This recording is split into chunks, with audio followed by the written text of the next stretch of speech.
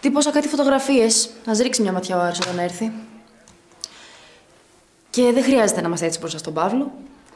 Πώς δηλαδή; Ψεύτικα χαμόγελα, ψεύτικες ευγένειες. Άντρας μου είναι. Χαίρομαι που είναι άντρας σου.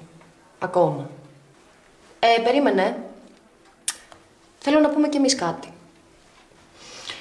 Εχθές μου είπες πως εσύ ξέρεις να αναλαμβάνεις τις ευθύνες σου. Και πως καλό θα ήταν να το κάνω κι εγώ. Δεν θέλω να ανοίξω τέτοια κουβέντα, Μαρίνα. Όχι, θα μ' ακούσεις. Θα μ' ακούσεις γιατί δεν ανέχομαι υποδείξεις από κάποια που μου έχει φερθεί τόσο σκάρτα και μου το έπαιζε και φίλη από πάνω. Θυμάσαι όταν είχαμε πάει για καφέ που σου είχα πει τις υποψίες μου για τον Άρη πως μάλλον έχει μπει κάποια γυναίκα στη ζωή του. Θυμάσαι πως αντέδρασες. Μου το έπαιξες σαν ήξερη. Και φίλη από πάνω. Το θυμάσαι; Εγώ λοιπόν κουκλίτσα μου ξέρω πολύ καλά να αναλαμβάνω τις ευθύνες μου. Και πέρα από τις ευθύνες που μπορεί να μου καταλογίσει οποιαδήποτε τη χάρπαστη βρίσκεται στον δρόμο μου, θα ήθελα να σου πω και τι θυσίες έχω κάνει για τον άντρα μου και πόσο πολύ τον αγαπάω. Δεν το αμφισβήτησα ποτέ αυτό. Θα μ' ακούσεις.